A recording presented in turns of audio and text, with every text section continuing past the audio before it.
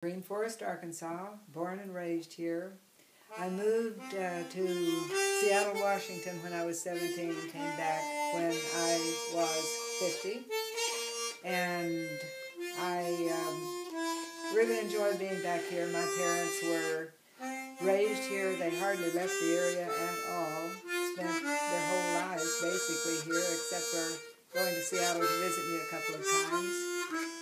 And... Uh, then my parents were, um, my dad was about um, eighth Cherokee. My mother was Osage Indian. So we had a lot of old-time remedies and medications that we used in this area.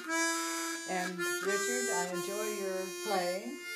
Uh, you are a wonderful harmonica player.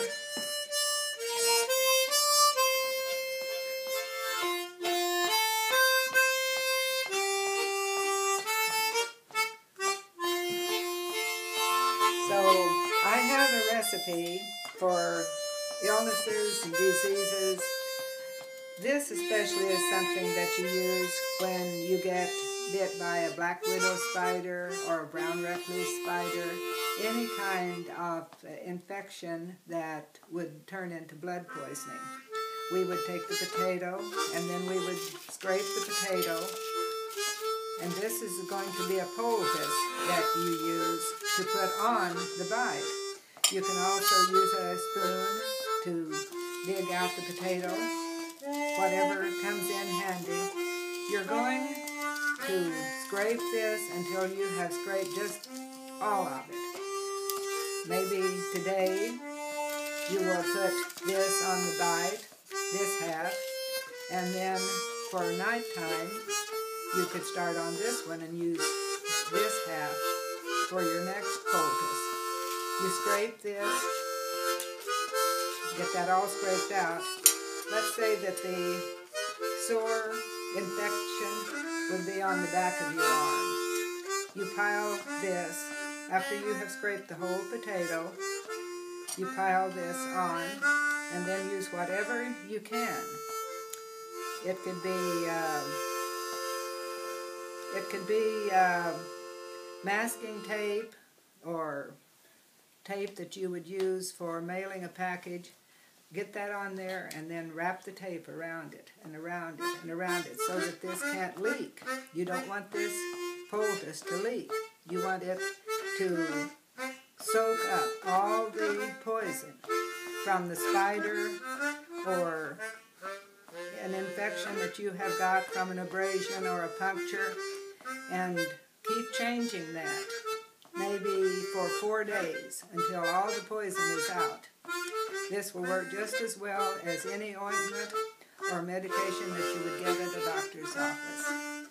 I had a bite one time. The spider was in bed with me, and it woke me up when it bit. So I thought it was just a, just a spider. Then when I came home from work, the next evening, it was about this size that was black and blue. And I said, oh no, Black Widow, Brown Recluse was in bed with me. So I wore that all night long, this, all night long, took it off, scraped the other half of the potato.